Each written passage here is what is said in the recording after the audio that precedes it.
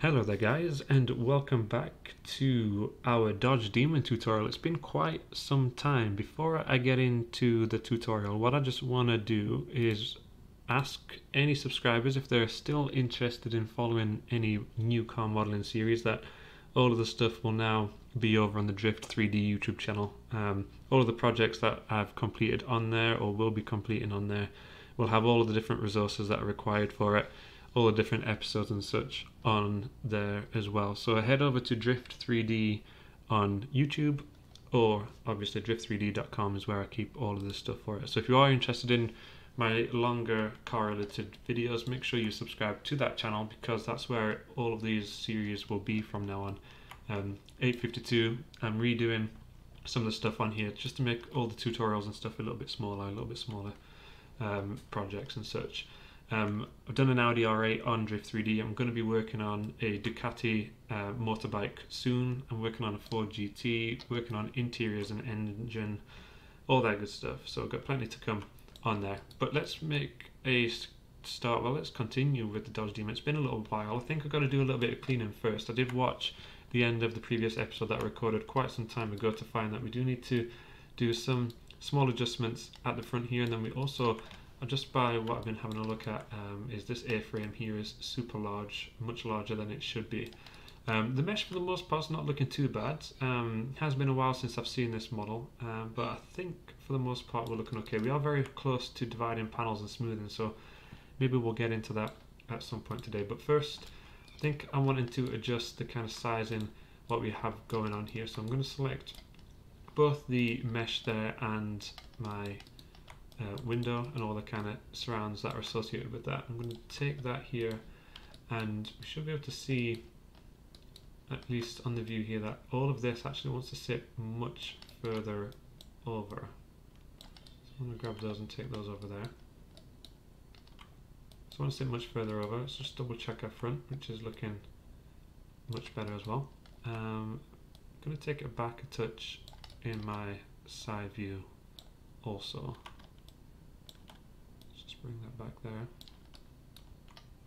Okay, let's go and take, um, I do have an extra section for my windscreen here. Um, I'm going to just hold down control and hit delete on that. I don't think we actually need it, um, especially not right now. Let's just continue. We'll grab down here.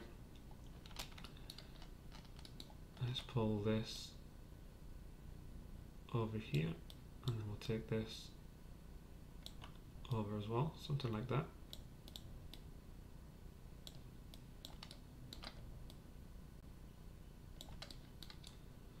Okay, and then I think everything else there is looking okay. Okay, so that's looking a lot thinner, um, a lot more like the real car. I think everything else there is looking okay. So let's maybe have a think about how we're going to fix this. Um, my first kind of thought is to, let's just isolate the selection here. So my first thought here is to go in, I'm going to maybe take my multi-cut, I'm just going to drop that, maybe actually drop that over there. So I'm just going to drop a random vertices in the middle there. Let's go for insert edge loop. I'm going to drop one roughly in the center because I think it is about halfway from this. Um, let's maybe actually, I'm going to delete that extra, let's maybe just target weld this down here. We'll kind of see how, how that's going to sit. And then I'm thinking what we're going to want to do with this is we realistically just want all of this to kind of move up in that direction. Let's just double check everything across there. So let's maybe delete these those faces. I'm going to take these edges here, I'm going to hit Control E. I'm going to pull this along here. I'm going to take this up.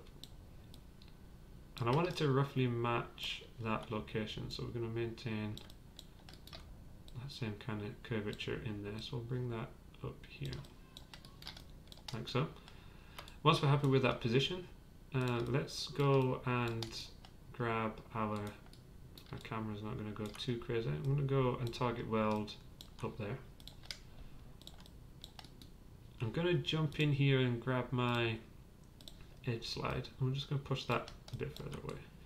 Because we're going to mimic the same here. I'm going to grab these. I'm going to hit Control E. And I'm going to pull that in. Maybe push it down a little bit as well. Okay. And then I think what we'll do is I'll maybe grab this one here. I'm going to push it over in that direction if it will sit. There we go. And then maybe target weld this one down to it. So I've got that exact shape going on there. Like so. Okay, so I've got that shape going on, but we're a little bit further up. So let's maybe then take, so I'm going to grab the first initial vertices, I'm going to hold down, let's maybe select and isolate both of these. Okay. Um, I'm going to maybe just get rid of these lower faces here. And then I'm going to grab my vertices. I'm going to take the first one, I'm going to hit hold V. I'm going to snap. Me just get rid of my edge slide there. I'm going to hold V and I'm going to snap up here. I'm going to take the second one, I'm going to hold V to snap again. And I'm just going to pull that down and away a little bit. Just going to do the exact same, holding V. And then holding V. And then we're going to pull that away. I just want that to match nicely inside there. I'm going to do the exact same again. Hold down V and we'll bring that up here. Okay, and then I'm just going to drag to find that again, holding V. And I'm going to do the exact same. I'm just going to pull that away ever so slightly inside there. Okay. So we've got that exact same kind of shape, but we just pushed it half a face in. If we hit 3 now to test, we can see that that's not affecting anything inside there in terms of our mesh, which looks like it should work out quite nicely for us. So let's maybe think about starting to extract some panels. We can see inside here that we're looking quite nice in terms of all the main information. So let's maybe think about extracting some panels. Um, let's go and these blueprints are atrocious. I forgot how bad these are. Um, so we've got all of our all of our vertices here. I'm going to just pull these up a little bit. So we've got. We'll maybe start at the side because I think the side skirts around here and everything should be a little bit easier. Um, we do have this bit down here which maybe needs a little bit of a tidy. So let's maybe just reset this. So I'm going to target weld all of these kind of back together. Apologies if I did this on the previous episode and I kind of just wasted some time but I think what we'll do is we'll bring those back. Target weld all those back here. Maybe just delete that extra face that I've got inside there Okay, so we'll do that. And then I assume we've got the same on the back. This is going to look really weird when it's actually smoothed off. So let's go again, do the exact same over here.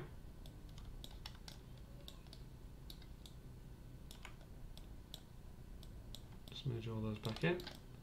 Check underneath, which is fine, and then let's delete that extra face just there. I am checking my um, references, and I think that should work perfectly fine for them, which is okay. So let's go inside here. We do have like a little extra lip. I believe that little extra lip looks like I might have accidentally merged multiple stuff together. So let me just dial that back. I did have an extra vertices up there selected, so I'll quickly just run and target weld these again. It's one of the annoying kind of functions of Maya is um, you kind of, when you go to your target weld, it for some reason remembers your previous vertices and tries to weld that too, which is a bit frustrating. Let's just go quickly redo this.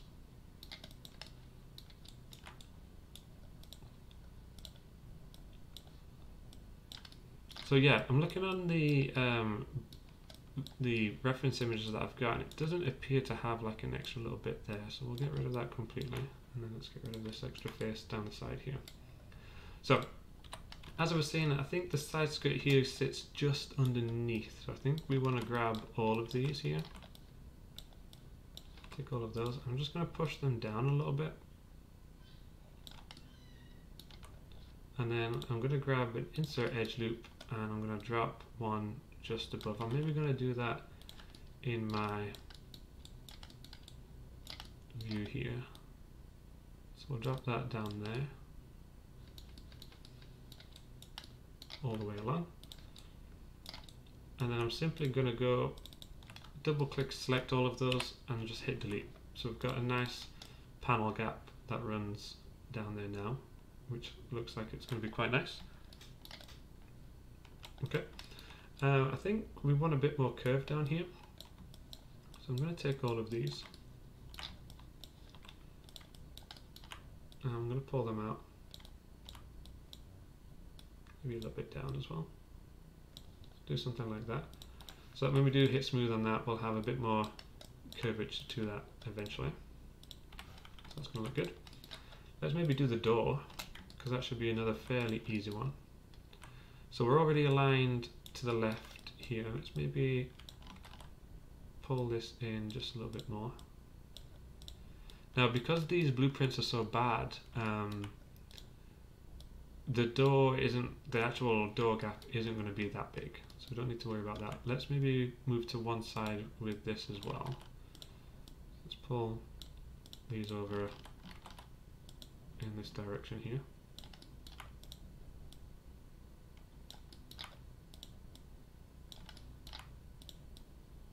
So I want to work to one side of the line and then what we'll do is we'll flip over to the other side.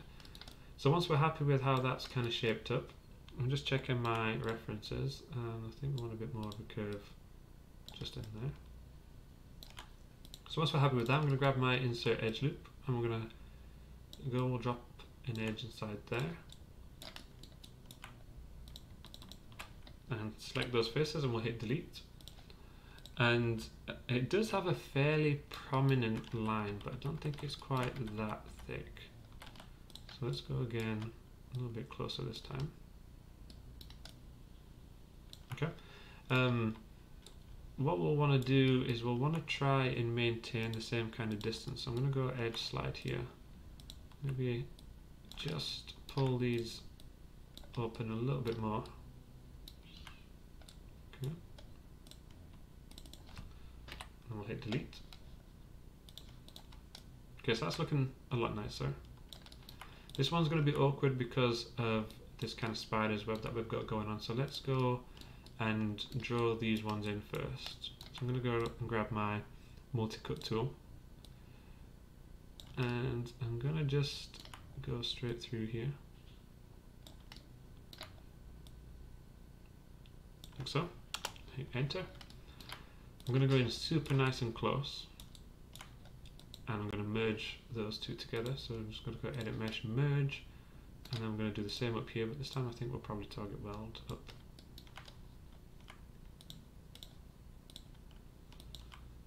Okay. I'm going to insert an edge loop and then oops I can select my multi-cut and I'll join those together. And then let's go and insert an edge loop again. Nice and close. Try and match what we have up here and then join those together there.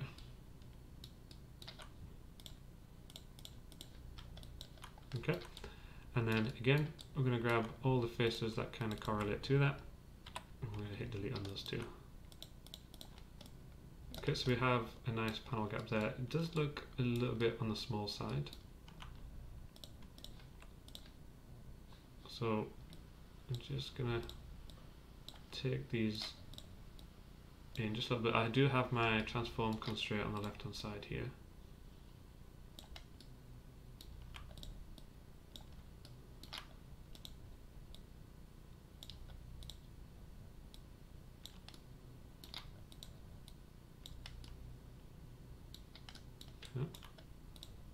just making it ever so slightly larger.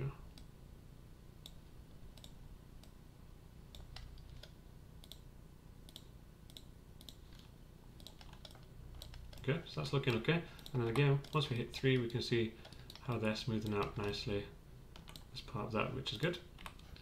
So we're happy with those. Um, we do have the front bumper, which is a little bit of an awkward one, because obviously that goes up and around the corner here. Let's try and map where that is, so we can see that that's going just here. What's going to be easiest if we do stay one side of this, um, so let's maybe pull some of these forward. I've still got my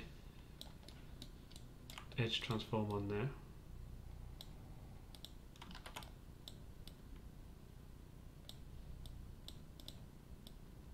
Maybe it'll be easier to use our top view up here. Just going to grab our top view, let's isolate those selections.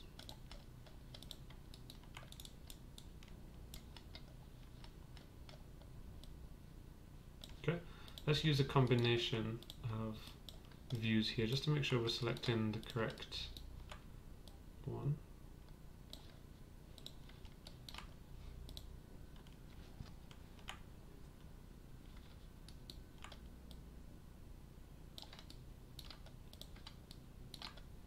Okay. Grab this one too.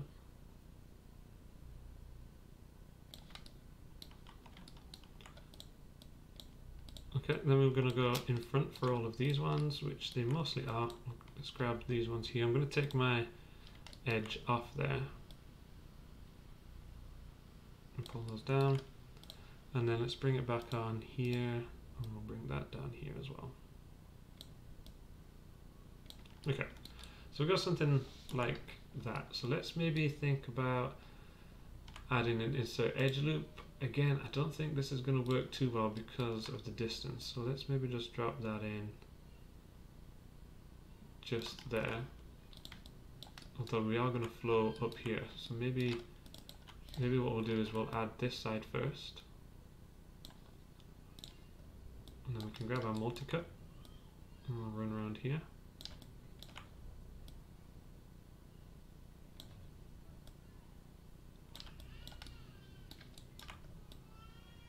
I might as well just draw the rest of this in.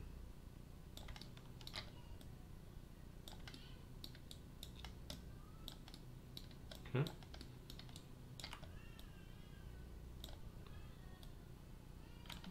Maybe not skip that one. Let's just follow this all the way around.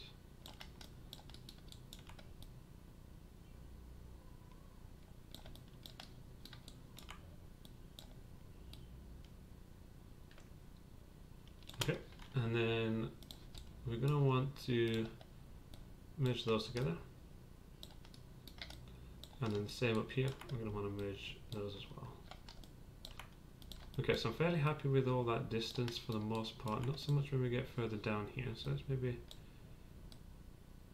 let's bring that in there a little bit. Push those down a touch. Okay, let's give that a go then. Going to select all of those and hit delete. Okay, so that's looking quite nice as we go around there.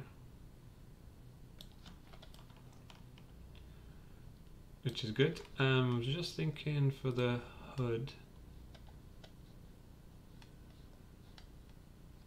Yeah, so it looks like we go just um, checking my references here. So it looks like we just want to go straight up here. Okay, so the only awkward bit is going to be here, but it's not going to be awkward at all. So let's maybe just grab our insert edge loop. Again, we want to go to one side, so we're going to want to go, let me just get rid of my edge. I'm going to want to go to the right here.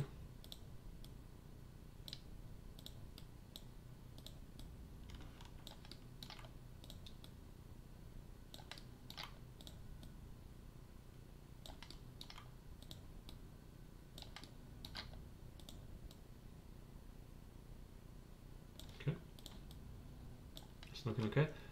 And let's go insert edge loop. Drop this in here. I'm just going to try and get a gap that's roughly the same as that one. And then we can run up and we can see that that's looking okay. I think that's looking okay the whole way, which is good. I'm not liking this bit.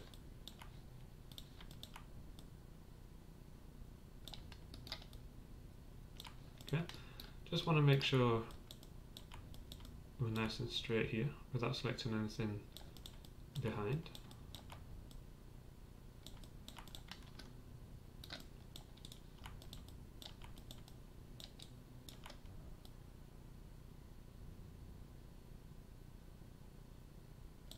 Okay, I'm so happy. Let's go and select all of those. And we'll hit delete. Okay, so we've got a nice hood line running up there as well, which is good. The window here isn't actually attached.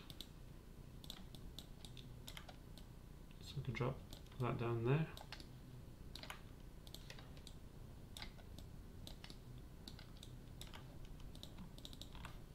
Get rid of all those two. So a pillar there, which looks quite nice. Um, we're obviously going to have our trunk lid and then we've got the rear bumper as well. I'm just trying to get a decent reference image to kind of plot that for me here. Okay, so let's go jump to the back here. And we're going to want to do the exact same. So let's go grab these, move these ones down.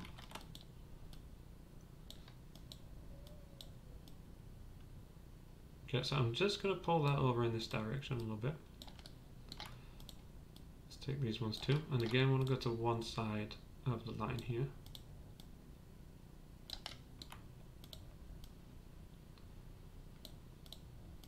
Okay, so that's been that's quite far off for the most part, but I think that's okay.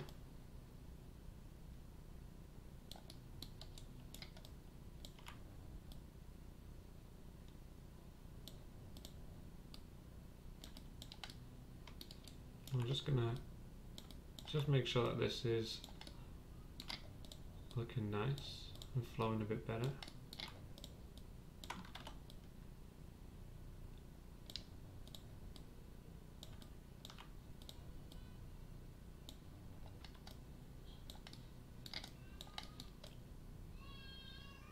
Okay.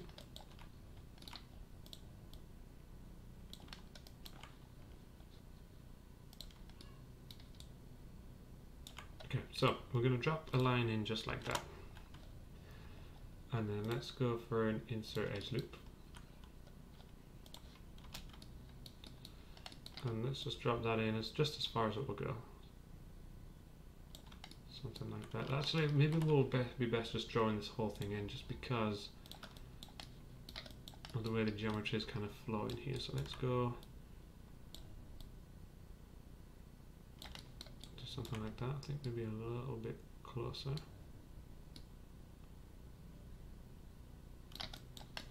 If I can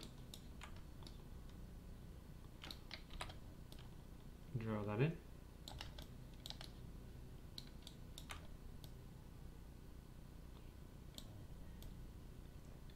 Okay. We're going to go to this line that we drew in here.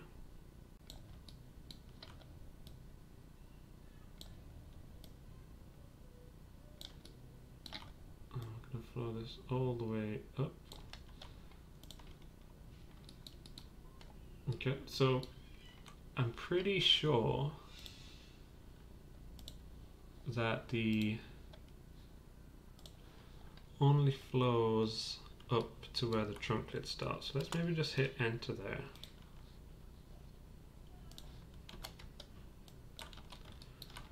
Okay, and before we move on, let's go and delete this line. I'm going to hold control and hit delete on that.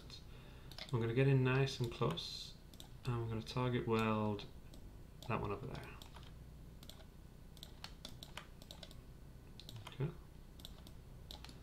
Now we're going to want to draw the hood line in, the, the trunk line in first. So again, let's go and just make sure, I'm going to put my edge slide on for this.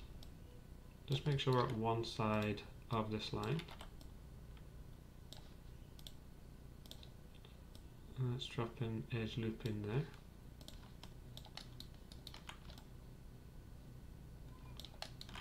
maybe a little bit closer.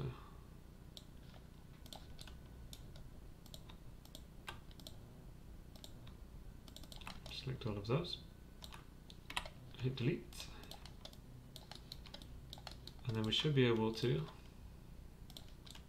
just keep drawing up, but I kind of want to move these along here to match. Okay, some of the geometry here isn't flowing as nicely as I would like it. Um, so maybe in between episodes I'll maybe do a little bit of a fix to some of that. But let's go and drop these up here.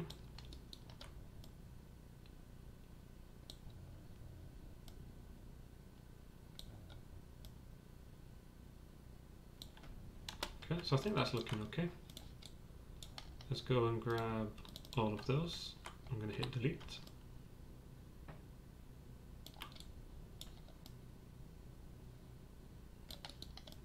Okay, so I'm happy with that. Um, I'm just going to go and take these here and just add a little bit more curve to them.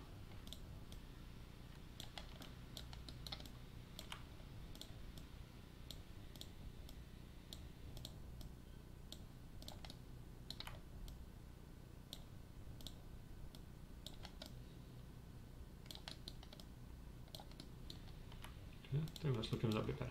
Okay, um, so that's that rear portion there. I think the last thing we have to do in terms of separating everything out is thinking about the the kind of little rear diffuser that we have going on at the back here. So again, let's grab all of this. I'm going to make sure that we're underneath it.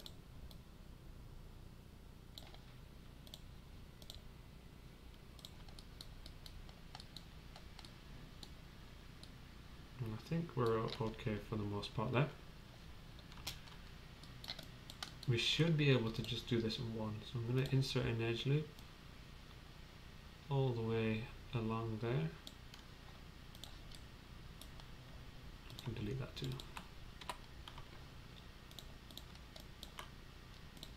Okay, so I've got all of the panels there, I think for the most part separated. If there are any more, uh, we can check them out a little bit later. Let's um, I'm maybe just going to delete all of these extra stuff.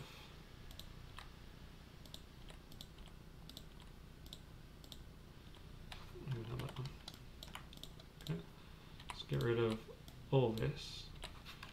And the reason for that is because in the next episode what we are going to be doing is we'll probably start the smoothing process for this.